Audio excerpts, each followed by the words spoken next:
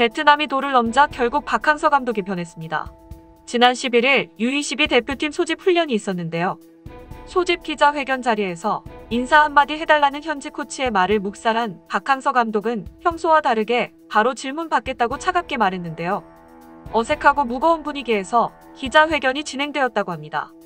그 자리에 베트남 기자들은 적잖이 당황했는데요. 서로 눈치만 보며 적극적인 질문을 하거나 하는 취재 경쟁을 보이지 않았다고 합니다. 박항서 감독이 변했다는 것은 바로 이어진 대표팀 훈련에서도 알 수 있었습니다. 전에는 박 감독이 방향을 제시하면 코치들이 볼을 주었으나 이번에는 박항서 감독이 직접 볼을 던져주며 선수들을 맹훈련시켰으며 다소 거친 말과 행동도 보여주었습니다. 그동안 자상한 모습으로 훈련을 지휘하던 모습은 전혀 찾아볼 수 없었는데요. 박항서 감독의 달라진 모습에 선수들도 웃음기 하나 없는 지옥 훈련을 맛보았습니다. 베트남인들은 한국인을 잘 몰랐고 박항서를 잘 몰랐습니다. 한국인들에게는 정이라는 정서가 있습니다. 오죽했으면 미운 정이란 말이 다 있을까요? 정이 얽히면 답도 없는 게 한국인입니다. 박항서 감독은 베트남에 정을 주었습니다. 무슨 돈으로 움직이는 프로의 세계에서 말도 안 되는 소린가 하시겠지만 한국에서 받아주는 곳이 없어 축구를 그만두려 할 때 다시 축구를 할 수 있게 해준 곳이 베트남이었습니다. 막상 가보니 도무지 축구 선수라고 할 수 없는 예들이 있었습니다. 그런 예들을 밑바닥부터 싸그리 뜯어 고쳐서 그럴싸한 축구 선수로 만들어 놨습니다. 축구를 다시 하게 해주었고 지도자로서 가장 짜릿한 순간을 맛보게 해준 베트남 축구의 박항서 감독은 정을 가지고 대했던 것입니다. 그래서 애초에 연봉의 액수도 크게 중요하지 않았고 베트남의 둥지를 틀 생각으로 유소년 축구 교실도 구상했었습니다. 2002년 히딩크 감독에게 보였던 우리 국민의 애정을 박항서 감독은 옆에서 고스란히 지켜보았습니다. 진심으로 한국으로 귀화하라며 해동구라는 한국 이름과 민증까지 만들어 주었습니다. 20년이 지난 지금도 히딩크 감독에겐 까방권, 까임 방지권이 발동되고 있습니다. 히딩크 감독이 어떤 행보를 보여도 한국 사람들은 나쁘게 이야기하는 사람이 없습니다. 우리에게 월드컵 4강이라는 세계를 맛보게 해주었기 때문입니다. 그동안 박항서 감독이 베트남에 일으킨 기적은 히딩크 감독보다 더 컸으면 컸지 결코 작지 않습니다. 이만하면 베트남 국민들에겐 박항서 감독은 히딩크여야 하는데 히딩크는커녕 보릴다본 못 취급당했죠. 지들이 원래 축구를 잘한 나라였다고 생각했는지 홈나게 명장들 데려다 그럴듯하게 보이고 싶었나 봅니다. 지난 8월 연봉 삭감 언제 할 거냐는 무례한 질문을 받았을 때도 대표팀 훈련만큼은 화기애애하게 좋은 분위기에서 진행되었습니다. 그런데 이번엔 확실히 박항서 감독이 달라졌다고 합니다. 무엇이 박항서 감독을 변하게 했을까요? 정확하게는 뭐 때문에 정이 떨어진 걸까요? 11일 소집된 대표팀 훈련이 있는 다음 날 공식적으로 이태훈 감독이 베트남을 떠난다는 발표가 있었습니다.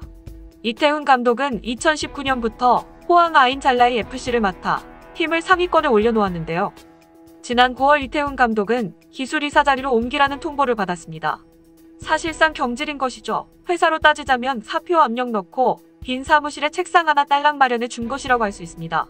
그것도 리그를 치르는 동안에 통보됐고 심지어 팀은 좋은 성적을 내고 있었습니다. 이태훈 감독은 박항서 감독의 코치진이었던 만큼 박항서 죽이기 아니냐는 추측도 나돌았습니다. 그도 그럴 것이 팀의 성적이 좋은데도 감독 교체는 이해할 수 없다거나 하위권의 팀을 상위권으로 끌어올린 이태훈 감독에 대한 예의가 아니라는 베트남 내에서도 논란이 계속되었기 때문입니다. 하지만 이태훈 감독이 교체된 후 팀은 6연패라는 치욕적인 대기록을 세우고 있습니다. 창단 이래로 처음 있는 성적이라고 하는데요. 팀 내 사기 저하는 말할 것도 없고 구단에서는 온갖 욕이라는 욕은 다 먹고 이태훈 감독을 다시 데려오라는 팬들의 아우성에 부랴부랴 다시 원래대로 책상을 갖다 놓으려고 했으나 이태훈 감독은 생각할 여지도 없이 감독직 제안을 거절했습니다. 선수들은 다시 감독직을 맡아주지 않을까 기대했지만 이태훈 감독은 2017년까지 감독직을 맡았던 캄보디아로 돌아갈 것이라고 발표했습니다. 몇 시간 뒤 바로 캄보디아 언론들은 이태훈 감독의 복귀를 일제히 보도했습니다. 3년 전 베트남으로 떠났던 이 감독을 제발 떠나지 마세요. 우린 당신이 필요합니다라며 무척 아쉬워했던 캄보디아였습니다. 그도 그럴 것이 이태훈 감독이 2015년 반세기 만에 캄보디아를 월드컵 2차 예선에 진출시켰기 때문입니다. 기다리고 있었습니다. 어서오세요. 캄보디아로 등의 환영의 말과 함께 이태훈 감독의 행보는 SNS상에 빠르게 퍼지고 있습니다. 그곳이 어디든 자신을 필요로 하고 인정해주는 곳이 가장 행복한 곳이라는 것을 이태훈 감독은 베트남에서 겪었던 일로 알게 된 것 같습니다. 바로 어제까지 명령을 내리던 사람이 하루아침에 정권을 빼앗기고 운동장이 아닌 관중석에서 선수들을 바라보는 심정은 어떨까요? 기술이사로 쫓겨난 후 경기가 있던 날 박항서 감독은 자신의 생일은 안중에도 두지 않고 뻘쭘하고 외로웠을 이태훈 감독에게 찾아가 무심한 듯 곁을 지켜주었습니다. 이태훈 감독에게 일어났던 일련의 일들은 박항서 감독과 매우 닮아 있습니다.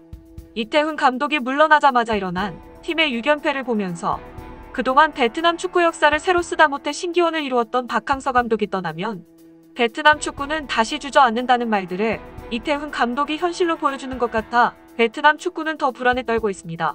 하지만 박항서 감독이 정 떨어질 일은 또 있었습니다. 8월 정혜성 감독이 있는 호치민의 경기가 있던 날이었습니다. 팀의 공식 통역관 양재모 씨가 무척이나 화가 난 모습을 보였는데요. 상대팀은 베트남 사람들이 어처구니 없게도 손흥민과 견주어 손색이 없다는 꽝아이가 있는 하노이 팀이었습니다. 팽팽하게 무승부로 진행되던 67분 페널티 에리어 근처에서 공을 받은 꽝아이가 맹탕 없이 넘어지자 심판은 페널티킥을 선언합니다.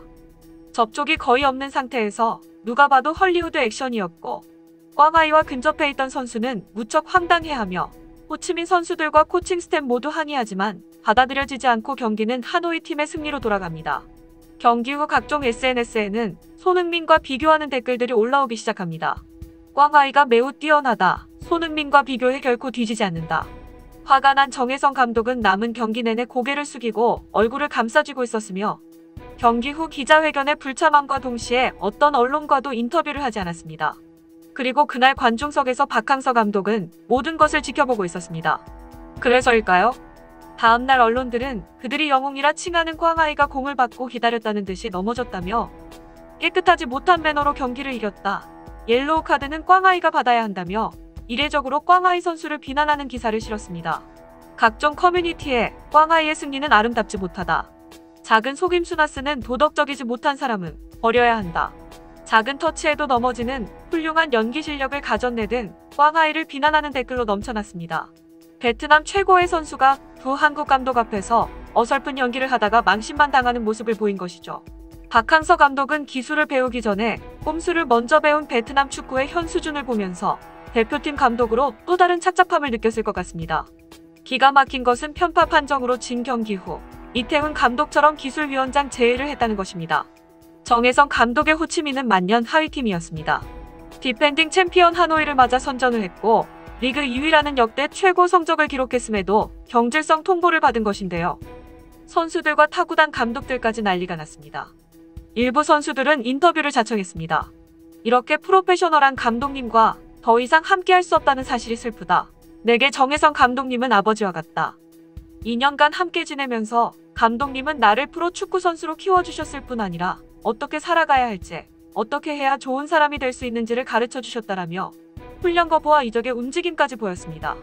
결국 귀국하려던 정 감독을 겨우 설득해 다시 감독직을 맡겼습니다.